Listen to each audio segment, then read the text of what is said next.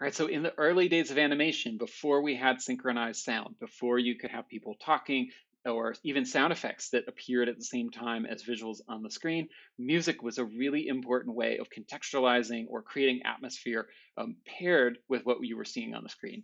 Um, this is still true today. Sound plays such an amazing role in creating atmosphere and mood, um, setting the stage for what we're experiencing um, through media like animation or film.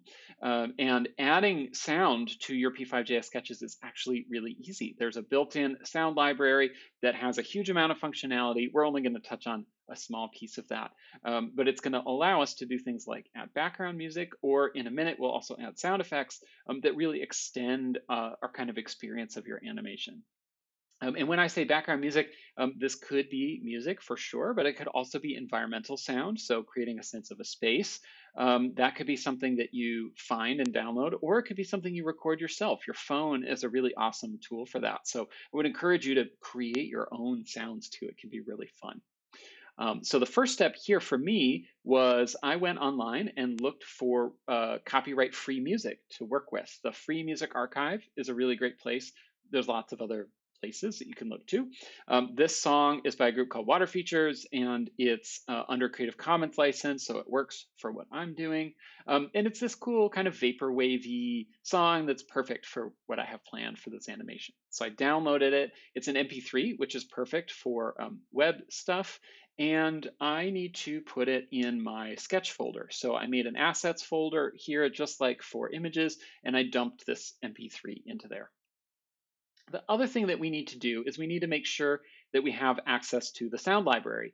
If you're working in the web editor, this is added by default, but if you're working locally, um, you'll want to go in your index.html file and make sure that this is in there, um, either that it's locally available or that you're loading it from, from this URL here. So that way we have access to the sound library. Uh, and then we're, we could just load this. It's really easy. So it's a lot like an image. Uh, I'm going to create a variable called bg music, background music. Um, we're going to load this in preload. We do need to tell uh, P5JS what file type it's going to be. It's going to be an MP3. And then instead of load image, we do load sound, and that's in the assets folder, and it is called I'm just going to add this over here. It's called water features air gap.mp3. Oh, not JPEG. MP3. Finger muscle memory, thinking in, in JPEGs. Okay, so that loads our audio file. It's that easy. And let's go ahead and just um, verify that this is working. So I'm going to go in here. I'm going to open my console and reload. And you know, I'm getting some warnings here, but nothing that's a problem. This looks good here. Uh, actually, nope, I take that back. We're seeing, I spelled assets wrong. Uh, we're getting an error here, so I can go ahead and fix that. And perfect. So this is why I like to do this first, just to make sure there's no problems. That way I'm not scratching my head later trying to figure out what is going wrong. Um, cool. So if we want to play this audio, it's actually really easy, but there's one key thing for us to think about. So um, web browsers today, uh, it's something we use for so many things. And so there's a lot of care taken to make sure that experience is good for users. Um, and one of those things is that auto playing audio is not allowed. So if you open a web page, I mean, if you're old like me, you remember back in the day when you'd open a page and you would be just blasted with auto playing ads, with sound, with background audio. You couldn't figure out what tab was doing it. It was a total, total nightmare. Um, so it's kind of frustrating because that's now disabled. And if we want to create a web page that has audio, you know, it's an artwork or whatever, um, we can't have it autoplay. So what we need is some kind of user interaction that the browser thinks of as consent, allows it, allowing us to play the audio.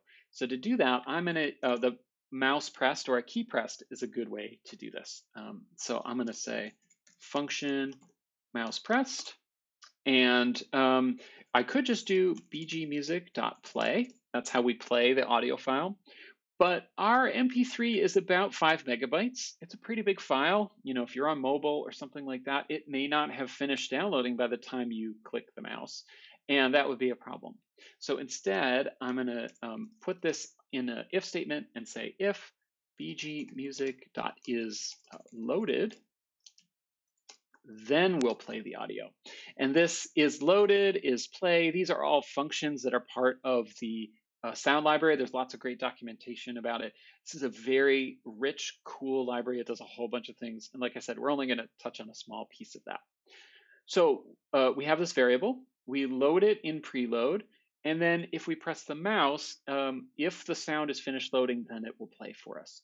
We could additionally add a loop, which would loop the sound if we wanted it. In my case, I want it to just play and stop, um, but you could think about how you wanted to do that. And then um, it, you know, it's not very intuitive that we have to know that we have to click this. So I think it would be good for us to add a label um, on the screen. So again, we're not going to talk too much about fonts and typography here, but I'm just going to go ahead and um, add this font here. And then in my draw, uh, let's go ahead and add a label. So we can say um, text font Helvetica text size 18, text align, center horizontally and center vertically. We'll make it white with no stroke and text. So then we can add a label here that says, you know, click anywhere to start. And let's put that in the middle. So I've got this uh, label here. I've got mouse press, the music should start playing, and hopefully, if all goes well, you should hear it as well. Uh, I'm going to refresh it. We see this text, and if I click, hopefully, you're hearing some cool vaporwave music in the background here. Um, and let's refresh it so we're just not hearing that constantly in the background. Okay, so that's really cool. Um, now let's say we want to um, create two scenes, one with this intro saying click anywhere to start, and then an animation that goes with this music. Um, so I'm going to go ahead and move all of this stuff into a function called intro. Um, this just makes it really easy for me to kind of keep track like that. Um, and then I'm going to want to have, um, let's see. So I think there's a couple ways we could control this. One would be to use a flag like we did before, um, having a Boolean variable that would control this. Um, but I think even easier is in the draw, we can just say if bgmusic.is playing, so that tells us if the audio is playing, uh, then we're gonna create this cool sunrise animation. Otherwise, play the intro. And then this way, if the music has not been triggered yet, um, then it's just going to show this intro screen. And the minute that starts playing, then it's going to trigger this other animation. So that's our basic kind of structure here. Um, trying to think, do I need anything else? Nope. Awesome. So then the last thing to do is make this sunrise animation, and I want to tie it to the audio, not just have it playing in the background, though that would be fine. Um, so I'm going to create this function. It doesn't have any arguments because it doesn't really need anything. Again, my draw here is really simple, which is great. And um, we can easily get some information about this audio file. So one thing we can get is its duration, like that. So that tells us how long it is. This is in uh, seconds, I believe. I'm not sure. I think so. Um, and then we can also get the current position in our playback. So this will, I'll call this time. This would be BG music dot current time. Um, so this is our, yeah, the current playback time. And we can use that then to change a bunch of stuff. So first, let's change the background color. Um, we're going to animate that using lerp color. Um, so I'm going to use map for this. So this is going to be the input is time, which is between zero and duration and we want that to be between zero and one. My song, it's like two, two and a half minutes or something. Um, and then my colors, I'm doing a sunrise, so I'm gonna say the dark color is kind of a really dark blue. Uh, light will be uh, sky blue, and I did some work ahead of time to find a nice color for that. And then we can use background, uh, lerp color between dark and light, and percent. And so this then will change the background color in time with the song.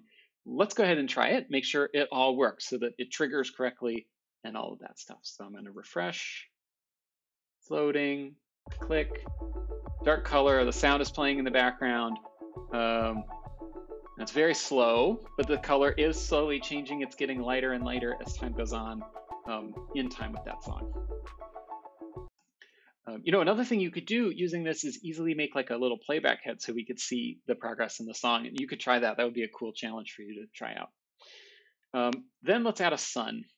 Um, so this is changing the color. We can also change a position using that. So I could say Y map between a time between zero and duration. Let's go uh, height plus 300. I want it to be off screen. Uh, this will be our sunrise. And then go up to height divided by four. Um, let's also change the diameter while we're at it. So we can, again, map is your friend. Map is super awesome. Let's make it 600 and 100. So it's going to start really big, kind of like a, you know, sunrise sort of thing on the horizon, and then shrink as it goes up. And then I'm just going to make it sun colored, I guess, and do a circle in the middle at the Y position using the diameter. And now, and so really, this is just applying ideas that we've used so far. Um, now when I click, got this cool chill vaporwave sunrise going on. And so this is going to move so that the sun goes from the bottom of the screen up uh, almost to the very top um, over the course of the song. So it's going to be timed to this. And when the song stops, um, in this case, actually, it's going to go back to the intro, but we could also think about other triggers for that. Um, we can chill out if you want. We're not going to do any more code here, so we'll just chill and listen to this song and watch it go.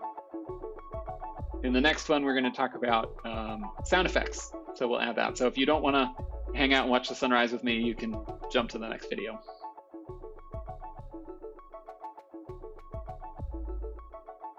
All right, I'm too impatient to wait. You can run this one in the browser for yourself. If you need to chill out, this is a pretty good one. Um, yeah, that's background music. Think about how this is really changing the feel of this. If you had a heavy metal song, it's going to feel super different. If you had like beautiful ambient sound of a forest, it's also going to feel different too. So